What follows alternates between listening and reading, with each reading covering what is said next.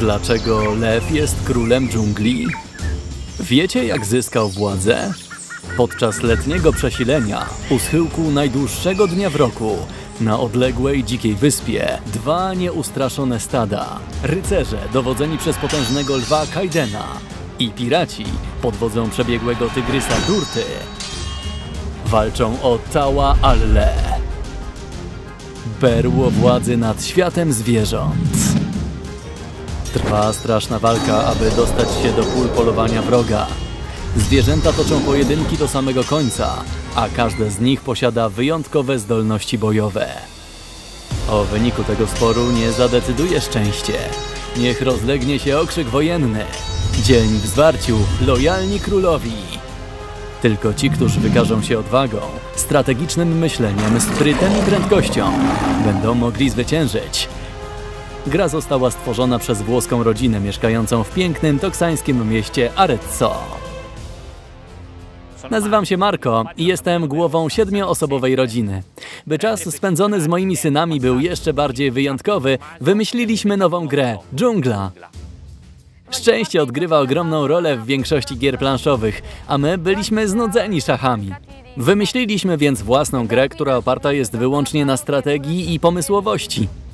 Dwa lata temu zaczęliśmy od zwierząt. Każde stado składa się z 15 członków.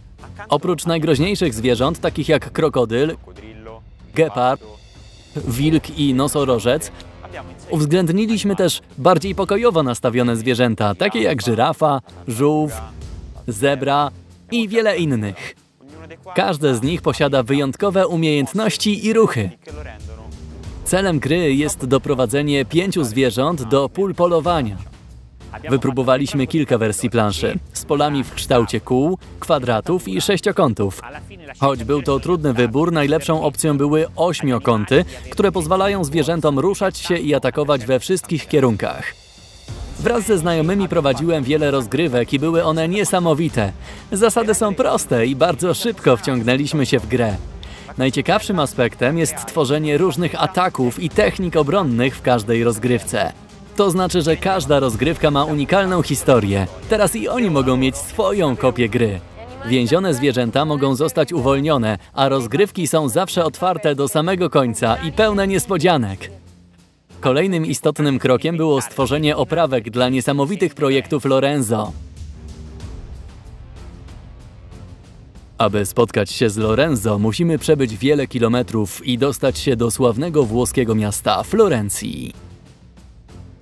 Gdy zacząłem projektować stada, jedyną różnicą pomiędzy dwoma zespołami był ich kolor, ale gdy przyjrzeliśmy się pierwszym postaciom, zapytaliśmy się sami siebie, dlaczego nie uczynić każdego ze zwierząt wyjątkowym? Z tego względu te same zwierzęta wyglądają inaczej w zależności od tego, do którego stada należą. Czerwone stado lwa ma motywy rycerskie, a niebieskie stado tygrysa pirackie. Projektowanie i dostosowywanie zwierząt sprawiło mi dużo radości. Wybór odpowiedniego ubioru, broni i cech charakterystycznych, biorąc jednocześnie pod uwagę rodzaj zwierzęcia i jego ruchy w grze, był niesamowitym wyzwaniem. Im więcej nad nimi pracowałem, tym więcej czerpałem z tego przyjemności. A niespodziewanie pojawiła się gazela, która nie ma swojego niebieskiego odpowiednika.